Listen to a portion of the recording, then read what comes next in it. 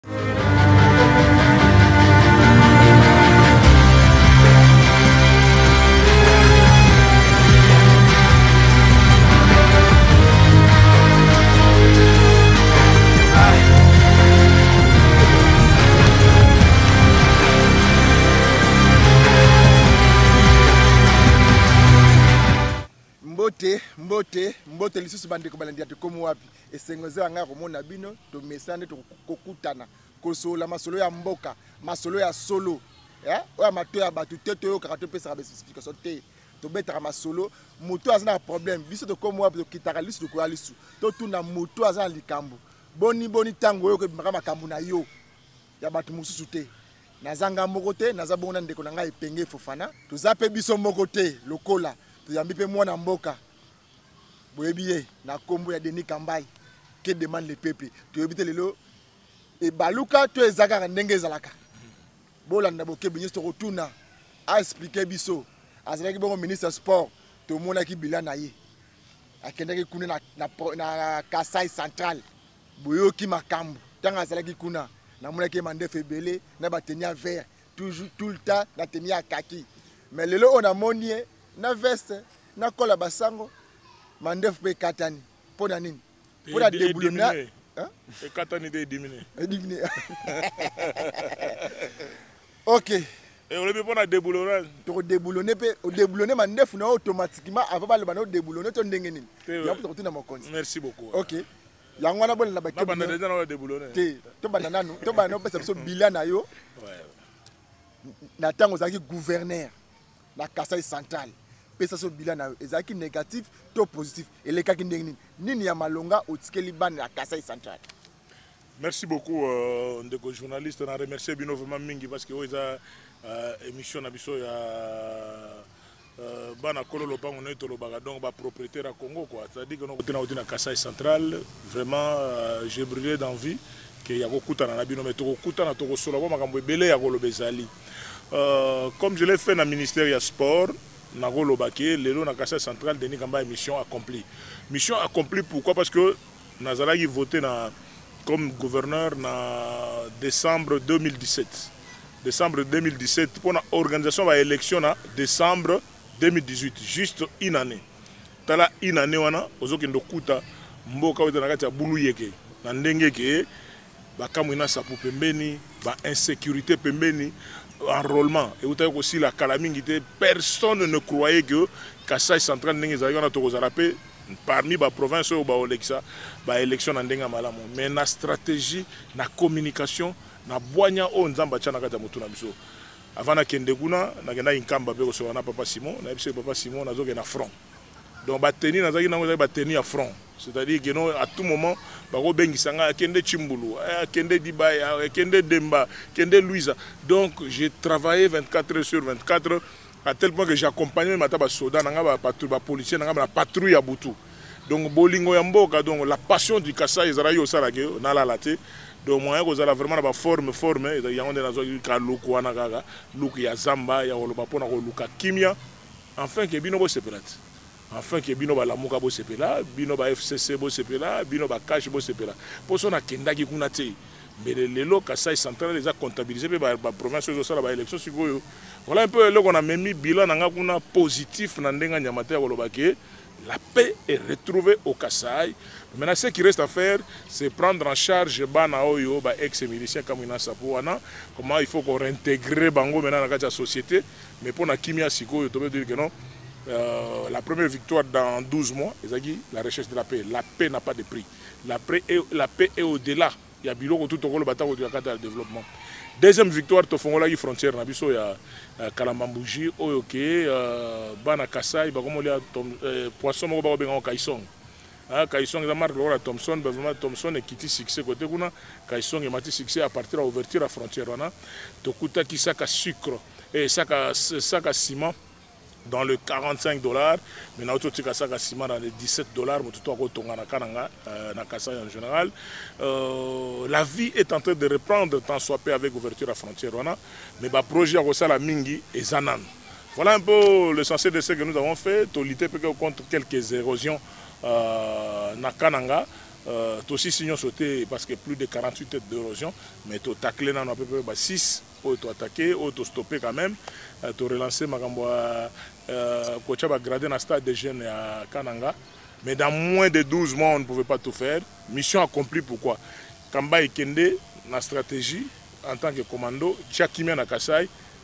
Elections esalema, bakonzi ya sika babima comme le President de la Republique Felix Antoine Tshilombo Tshisekedi oyo basali remise et reprise d'une manière civilisee. Papa, tondimaka mpe batu. Mbele heure oyo batu bakopakata, batu ya Nord, batu ya Sud, batu ya. Mais tovandi tranquille, otambola mpe na car na yo, biloko ya bonano esalama te. Pourquoi? Je profite emission nanu edemare te pona ko lancer toujours message ya kimia. Vraiment boya to sangana kanda etongaka mboka te. Le Congo nous appartient à nous tous. Le Congo n'appartient pas seulement à FCC, le Congo n'appartient pas seulement à Cash, le Congo n'appartient pas seulement à Lamuka. On ne fait jamais la politique dans les extrêmes. Il faut tosangisaka ba idée na biso, tozo ba vraie valeur. banda mboka oyo ebanda ti sikoyo toyebi qui est le meilleur ministre ya finance toyebi bango azala na kiporte ke tendance aya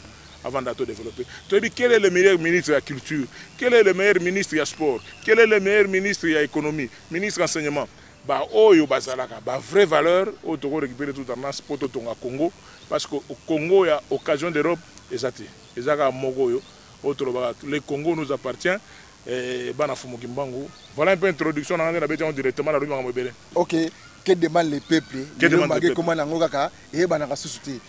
olobi ke okendeki kuna atake commando nde okitaki bongo na province ya kasai central lokola commando oui. mais lokola commando yango otikeli bango susu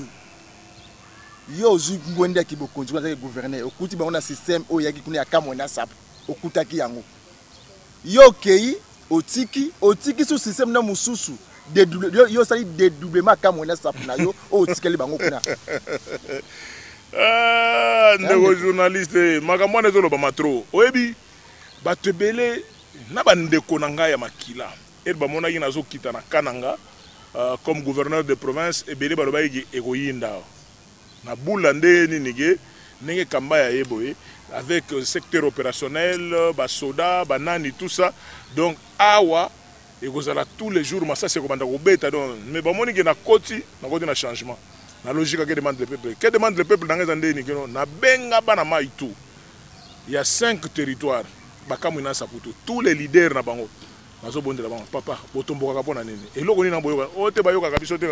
mais ngai nakosola na bino direct na kiti natindi bamisere ngai tosolo na bango balobi botya na se botya na se babandi ozongisa na lisolo kaka babandi ozongisa minduki mais lokola nayebi baservice na biso ndenge ezalaka mpo baya kokotela te na makambo ndenge ozoloba wana nakutana te na ministre ya défense vie atama nakutana na uh, général uh, chef d'état major eh, ya biso uh, uh, actuel Tosololi na ye pe autour ya makambo wana totya na se euh, general mosusu na general Filemo Yave oyo ya deuxième zone de défense résident na Lumbashi ye nde moto apesanga phrase moko alobaki non un meilleur général ezali oyo aganyaka guerre sans avoir tiré une seule balle donc na kati ya négociation wana mais le qu'est-ce qu'est-ce qu'on dit actuellement ngai napesi mateya ti na désarme bato nasololi na bango mais maintenant sikoyo bato yango bavandi bazozela ozo comprendre oya un problème c'est-à-dire que maintenant plaidoyer na biso nde toye ata nde tokoti na sénat awa tozo plaidoyer tosala euh, discours na biso koloba no pardon gouvernement oyo tokosenga ebima rapidement baministre oyo bakokoma ministre de l'intérieur ministre ya défense ministre batala likambo ya réintégration na réinsertion ya bana oyo bazalaki na bamouvement kamwina sapo voilà un peu tout ce qu'il y a il y a pas d'autre kamwina sapo en feu mais seulement ba oyo to desinteressaki ba oyo tosolaki na bango oyebi bato baso mesanaki déjà na bakisi na ba arme na makambo to wana bavandi siko tempo qu'est-ce qu'on fait avec c'est là il y a les problèmes merci mwana mboka Denis Kambai oui ndeko en tout cas on mesana mingi na mwana mboka Eliezer Tambwe mm -hmm. lelo okuti penda génération ya sika nayebaka ntango ozwaki meshake na shane ozobenga ye l'homme du moment ouais. nde lelo okuti neti ngai penge fofana mm -hmm. moko oyo aza mwana kasai mm -hmm. mais eloko ngai nayebaka epa deni kambai mwa bokeseni na ye na bamosusu direct olakisaka kimobali na yo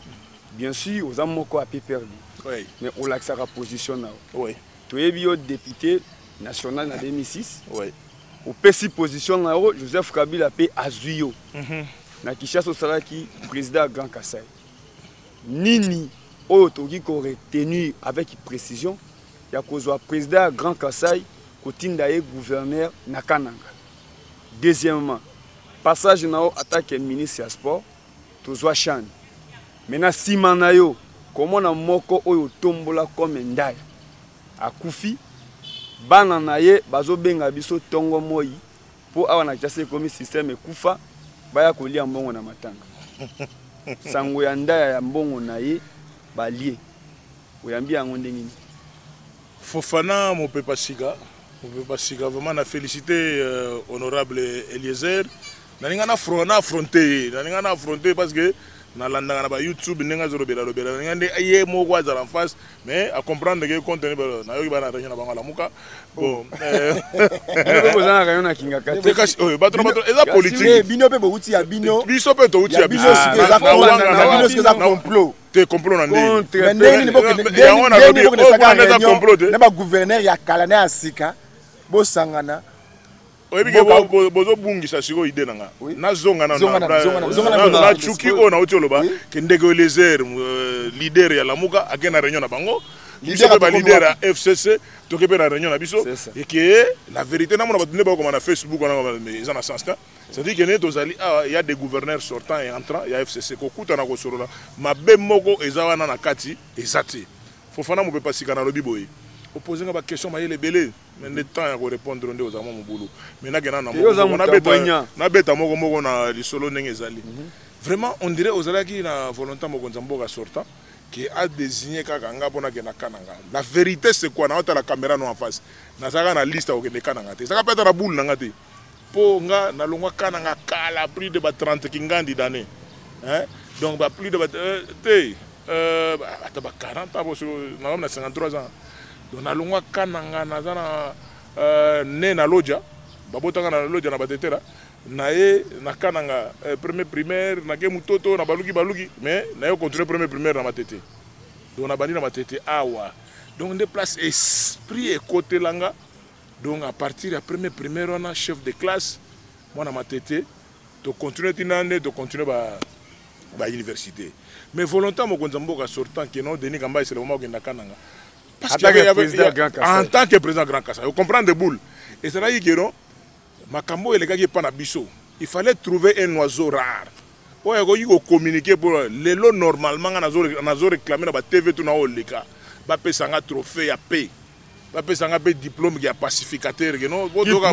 babengaka bato bapacifikasi yango nakoloba te fofana eh. babengaka bato bapacificateur tokolobaka eloko ngai nabima pacificateur mpo nakenda frontel place ngai nabimi pacificateur keno nakolala na ndako bamasasi ezobeta o comprendre donc nakenda baplace mosusu nakolongwa luisa mpo na kobima dibaya bayebisi wana awa ah, place tozali ya gouverneur ata moko akoma nano te mais yo okomi donc je suis pacificateur ya kasai central j'attends badiplôme na bandeko na nga kasai bazala motema bakanga motema te basalela yango ekosalanga mpe vrai donc kokende nakenda na ka na nga eza na ordre ya mokonzi atimbaki atali ke na minute oyo moto akokende kuna ifo ezalaka ye J'ai accompli ma mission, ba élection esalami, bato baponami baponami, bato bazo se retrouver bazo se retrouver, gloire à Dieu. Mais nazonga na lisolo ya ndai. Mhm. Eza nanu na ebandeli ba ba ba congolais eza nanu na ebandeli nanu toke kane te eh. mhm. nanu bakangi ndoki te mpo ezalaka ere ekendaka ebeti poto omoni tel ministre akomoleka na télévision oyo oh, kanga yokamba ezongisa nzungu eyoka na batata mibima bajournaliste okomona bana o oh, te nzungu ya léopard me nzungu eza nini eza d'abord ya stratégie nzungu eza d'abord stratégie comment voulez-vous que motu lokola mirage ndaye mulamba le meilleur buteur ake nango tina lilita akufi bana na ye bacheri cheri combien de fois bengi aza na kananga papa na ye nazonga nanga lubumbashi mpo awa lare na biso ezomonana te eza na sens te babino kotikala koleka ya lutumba nano koti wana sisana makambo nano ya mpangi nano eh, ya mpangi ndaye na sisana eh. no makambo basali mpo na ndaye mulamba wana ils doivent corriger ça très rapidement eza kolakela mabe te la verite c'est celle-là bino bolinga koluka bandoki bandoki nani ere bozolia bambongo te ya bawei vous attendez de quoi quel résultat vous attendez donc eza eloko moko ya bien te bokipaka mpe baancien léopard c'est ça le secret donc nabeti lisolo ya pourkoi nakenda na kananga ntango mpeza grand kasai nabeti lisolo ya ndaye troisième question ezali ya nini susu troisième question nakobakisa boye denis kambai oui yo nazoloba na yo mpo oyo osala na pprd tomona yango oui. opesaka position na ozalaka hypocrite te otangi sankuru te sikoyo nakozala hypocrite par rapport à nani e nayebisa ko beno je connais les joueurs et leur eh, jeu plaisir na te ngai napesaka position na ngai direct ngai na kabilis te eh, ata avant kuta kokoma pprd ngai na kabilis parce que heure ngai na soutenaki euh, le président sortant ezalaki keno tozosisa bachike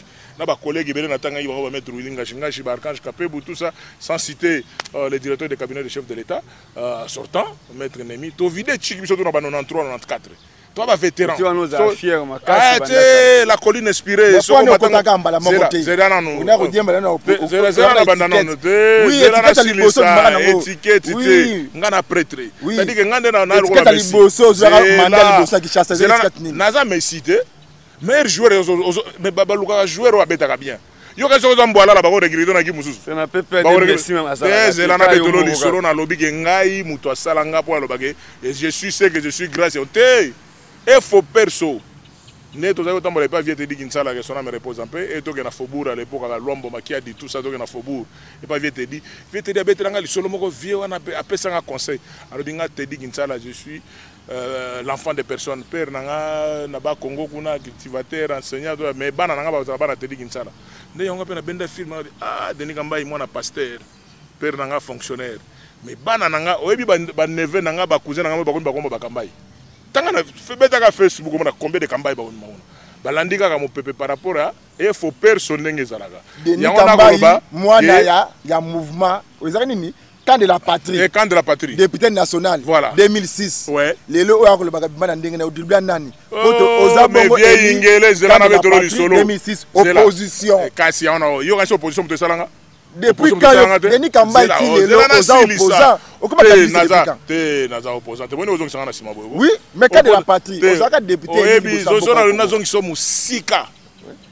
towutaka opposition na idps bato tu ozomona wana oyo bazoloba oyo nga ere idps ezobandayokaidpskana explike yo zela na explike yo bamosusu baye na idps baye nsima na ngai yoka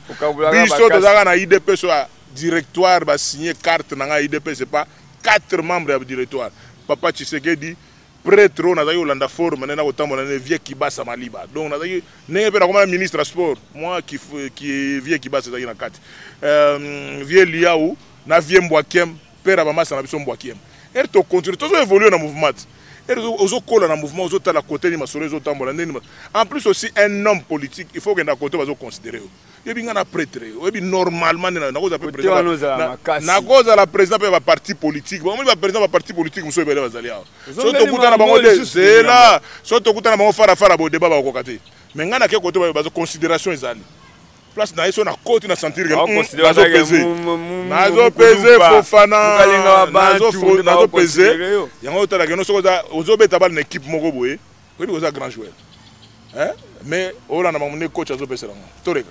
denis kambai président ya grand kasai direct mais oh, osilozaka esengo na ngako ere bino bozobulungaplaisir eh, na nga eza leloke naza cash fcc eh, omayemba tokende eh, ofunangaoza cash fcc ya bino baopposant bato base retrouve oyo baza ba tx na ba 3 xsl population ya nsima na bino te eza contrat diabolique population aza nsima banani contrat omoni fcc plus cash eza contrat diabolique population azo recuperbengelanga bengelanga moto alamuka oyo alingi deba nanga tosalelazela mpe so explication oyebi bamaste ebele na kananga kuna place nayaki bayaki na etikete alamuka baye toyebani ere navandi bona tala bana mai oyo oh, bazalaka bato alamuka donc mais ere bakomi na kananga telemake pema bakomi bato ya tshisekedi zela napesa yo lisolo bakomi zela zela zela bakomi na bango bato ya tshisekedi po babima yo omona bapolitisien ya mboka oyo na yo na kati ba te nga na direct non, eh, nga na lobeta na lobi hein nga na ndenge na banda élection oyebi ke bana maye bena kana bazo ah gouv wa prêtre oza na moto mais okowangana te ke candidat na oboye comme ça totya ngai bite nawangana mpo nini moi suis politique na garde position na ngai ti na suka okomprendre mais ya bana mai oyo oh, lelo keno bavota bango na mopepe ya tshisekedi mais bazoya bakomi na lamuka boyambi bango osu na lamuka alors bozokosa population to bolingi nini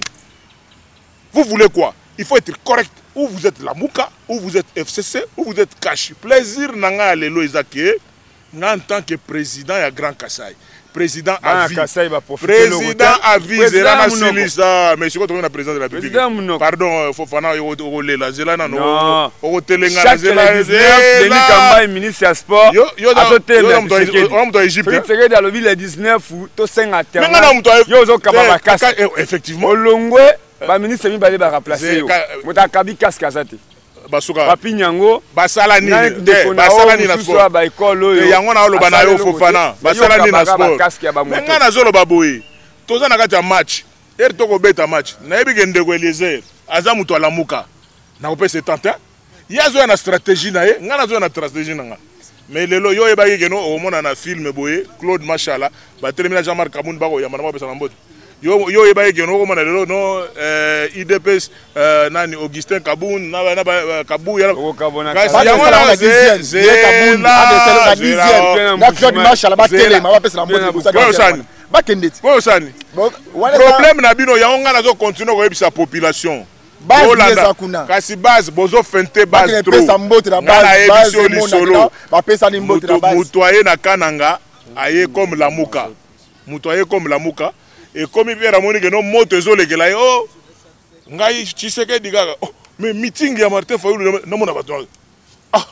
mais to respectaka population population ba politiciens bazo kosa bino ebele bakoloba nde ba intérêt na bango personnel biso nde bake demande le peuple so toyebi keno so totelemi toyebi keno peuple aza compliqué te d'ailleurs peuple na biso aza besoin bamakambo ya opposition majorité le peuple n'a pas besoin de ça peuple azaka nzembo oyo moto na ngai wazeko abeta que demande le peuple que demande le peuple mais bino lokola boyebi ke no population alandaka aire moko bino bato okosaka ye na ndenge arumba oyoki mutu discours na tongo azoloba likambo mosusu me na poko azoloba likambo mosusu tokoyoka lisusu discours tokotikela bango sotante nalobiyobengela ngai bengela ngai na debayebisa ndeko eliesede bato ya lamuka bazala bakozala wana ya fcc bakozala wana na côté ya cash tolobela peuple tolobela en plus c'est quelle idéologie politique bosalaka vous trouvez quelqu'un mutu ye moko aza socio démocrate aza na opposition socio démocrate aza na pouvoir eloko bato mosusu bawela oyo na moto aswana na oyo nazomona bana ma ebele surtout oyo euh, groupe nini g7 oyebi g7 balongwa na mouvement mpo na nini balongwa na majorité mpo na nini o oh, kabila alinga tya troisième penaltymesikoyo te eza koakizeeske bino ba tribunal bokanga nani bokanga motu te nakoloba na bino boye ke bolobaka ke troisième penalty ezali mais troisième penalty eza te bozonga na ndako na bino mwana mboka denis kambaye fofana avec joseph kabila ouais na sepela ntango olobaka keno obotami na loja oui. joseph kabila azwi batetela baluba bino bakasaye boni boni tous les deux province wana ekomaki abattoir eyokati na, na, na sankuru soni élection esalami te combien de morts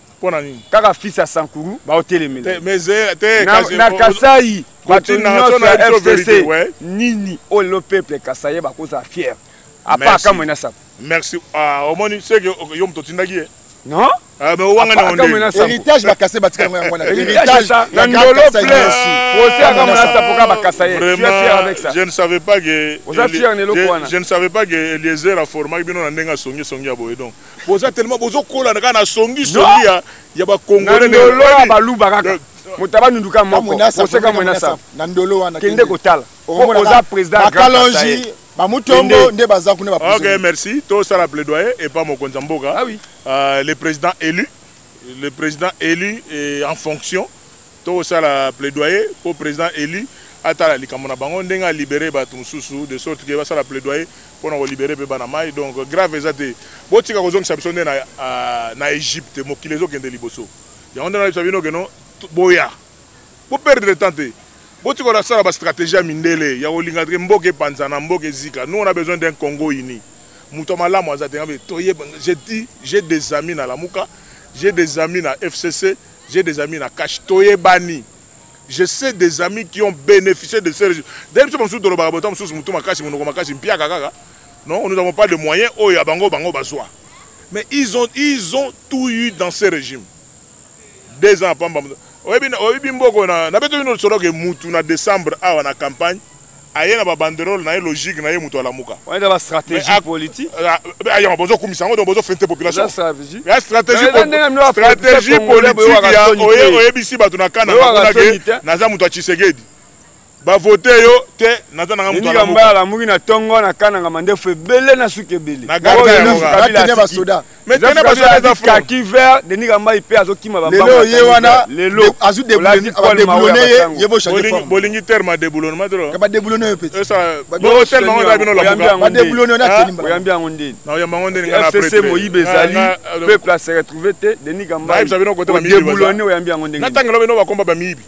tanga ti oyo eza tokomi wapi eh? tokotika eh, eh. ekoleka mpe bongotika biloko toyebi bato babetaka matya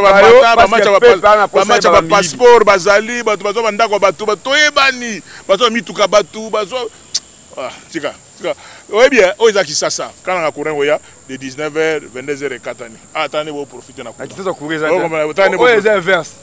na selembao kura eza te na bumbu kura eza te kisasabadimayo kura eza te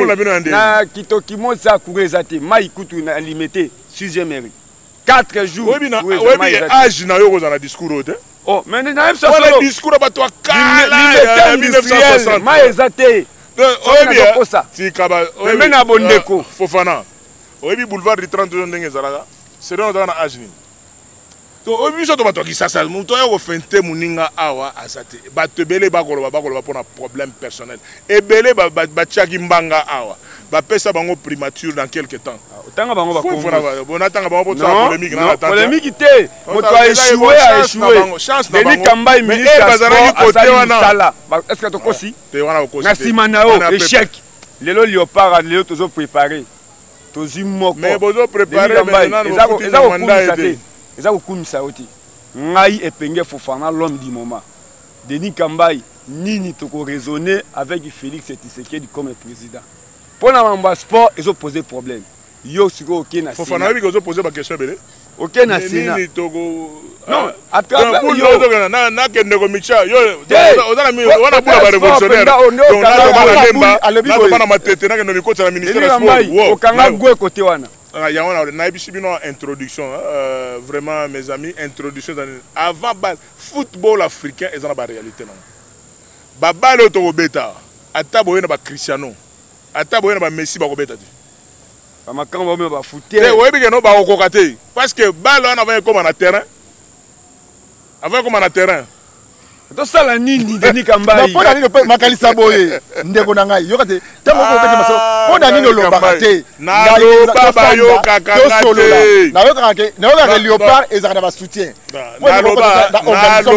vraiment nzambe azomonanga makambo ekende liboso bakongoli fo asepelaka iza kipulu yo oyebi solongo te te zela ndeko deni kambale ndeko deni kambale zala mutuna moko moke mutuna moko moke bale ebetamaka na terrain te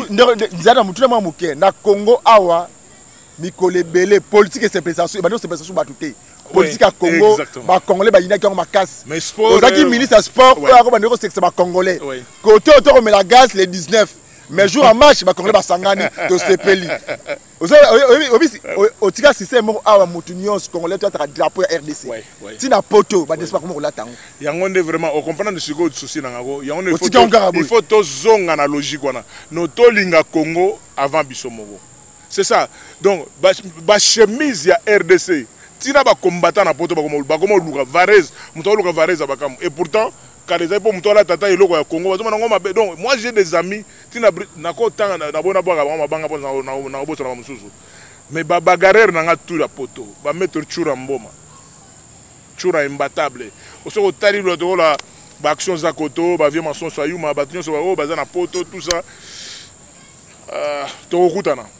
qu'est-ce qu'ils m'ont dit tosala souci na bango ministre sport atiki osala eloko ata moko te eloko asala kaka malamu ndeko wili bakonga alongola kaka foto na yo na chan na martir wana alongoli ya yo atiki ya bajoueur mosusu ah, eloko malamu oyo ngai na kanga ateke journaliste yafotowanasaki émission bochange mais bozalaka makambo na bino polémique bolingi natanga bayebi yango eloko asalaka malamu yango ata bakoleka bamoniki balongoli foto ya denis tika ata foto ya trophée ata 2-0 totika oganye te kaka foto nde nalongola boyebi nzambe aza nzambe naloba nzambe aza roulage oyo ayebi ayebi moto na moto asala mosala na ye denis kambai tosala nini oke na sénat okomi wana neti eloko tokosala yango na kolobelo jamais na tv ata opose combien de question yo olingi so baya otuna ngaka enzungu eza oza na nzungu na mabokoeninga mbaokena na mboka barwandais olelisa barwandais kote wana tozoloba avec ipreve denis kamba otiki ekipe oke kindo otamboli partout oyebeli okotambolaki na nsima na yo oh, de ministre ah toza na bajoueur oyo ngai namoni eto alobi ke osanti rdc azwi na moment oyo fo baprofite namoni droba alobi la même parole mais na minute oyo bajoueur congolais bazonuna bajoueur lokola babolase soki yo osimbi bango na sepe na parole moko olobi awa euh, ata conseil moko ndenge ya mosikanapesaka conseil te deni kamba na kananga kuna otika kosala yango te oh, mais ozondima teke napesaka conseil mpona mais ngai na comprendre bino te bacongolais baretenir nini bacongolais baretenir ke bale ebetamaka na terrain te okosala nini Ah, ozo bomba ofongoli okangi ofongoli okoma ozo comprendre te ke noni yambai bato baza na diaspora ba comprendre tous les 26 provinces tokangi nganga bale yeyo oh. asala tomona nani nganga bale nani ozo mwa système ka atindiki akangi nga alobi ka bongo oh, fofana mopepaoza moto ya polémiquengai naza nganga te mais nasema connaisseur oui caméra na biso tokomi mwa moke na suka télévision ezali ngonga Direct. message nde okopesa obandi nanu na kananga kuna mpe otikika mona sapude olotika ordre otiki Te, bezo- te, otiki te, ti te, mobulu natikika oye mona sapude. oyeki na kinshasa awa place bavoto na 2006 Oui. mago obosana matete kisenso Nako Limete. bosana jamais. tala matete ndenge epoli place yo otangi olobi kotanga poma ya primaire matete ekomi na solo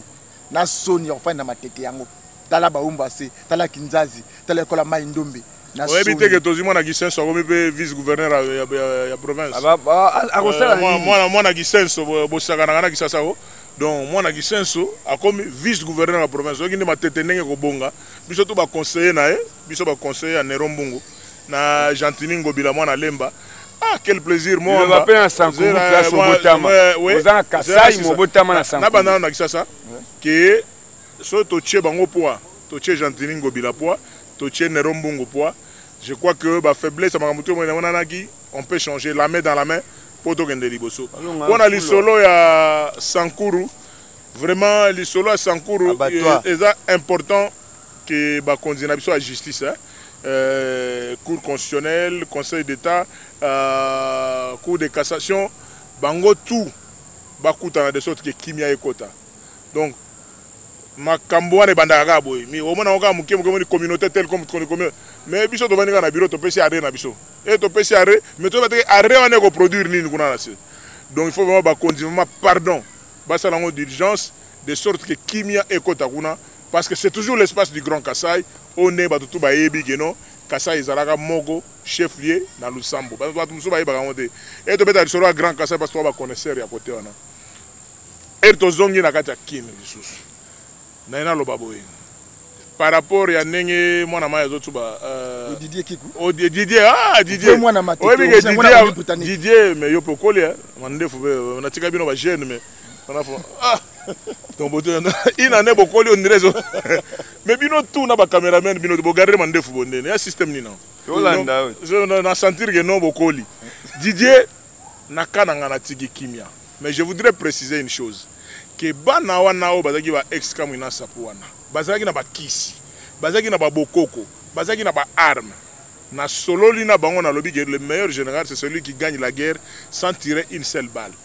tranquillité na ba na ba territoire nyonso ya kananga evandi mais siko bana wana ba debare ba se debarasser na biloko wana siko bavandi nguma qu'est-ce qu'on fait réinsertion réintégration ekomi responsabilité ya gouvernement oyo il faut kotyama en place il faut gouvernement etalela ya likambo wana c'est-à-dire ke ngai natiki na position wana to désarmer mais maintenant on fait quoi na bango c'est ça ce qu'il faut accélérer très rapidement mais koya na kati ya kin oyo tokomi koto tolobi ke non le message important na bacongolais tout Tolingana. Politique eko diviser biso tout te. Politique eko diviser biso tout te. Nalobi que j'ai des amis intimes na ba frères na nga na kati ya Lamuka.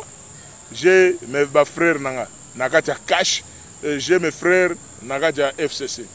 Vous comprenez Na tanga bango pona sala bango plaisir hein. Oui. Donc na pesi bango mbote euh, place ba koma mutu lokola Francis Kalombo. Hein, na Lamuka. Ya yebi vraiment que non c'est la communaute mais soki oyoki soki oyoki discours français azo beta na TV mikolo eh, nga na bika français oyo oh, ka ya ya ma campagne oyo to mususu bon solution na pesi mbote place azali na ye kokende sikoyo kota cash nani petit frère propre jekoko jekoko mulumba euh, mwana kingabwa vie no apesi yo mbote toujours zala na nzela don ndenge ezalaka donc cash au comprendre soki na babetela sikoyo na fcc nga moko omona teke toka bandeko lamuka fcc kashi bandeko donc même famille de idéologie politique eh, wapi idéologie politique wapi idéologie politique ere totanga idéologie politique nayebi soki oke na lamuka bafédéraliste baza kuna oye na cash bafédéraliste baza kuna oye na, eh, na, na fcc bafédéraliste basociodémocrate baza na bagroupe wana tout ba, ba, ba, ba, donc Il y a ba idéologie politique na mboka na biso ndenge ezali ekoma makambo ba masta ba aigri ba nani ndenge makambo mais tolingana nde mpo totonga Congo totika kolanda Jean Mundele parce que lelo soki otali niveau Libye ekomi à partir ya ba discours kaka ya ba Libye soki otali lelo niveau ba Soudan ekomi soki otali lelo ba niveau ba Egypte ekomi ba petit ba pays wana esi ekendaki Kadhafi biso toyere totanga ba chic na bana mai eh, namoni maître Willy azali awa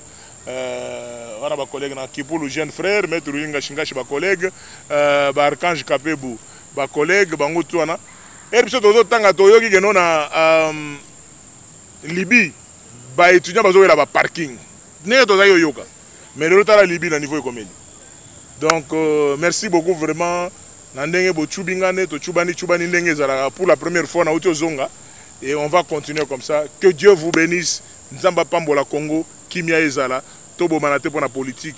tokutanaka tosololaka eloko eleki dialogue eza te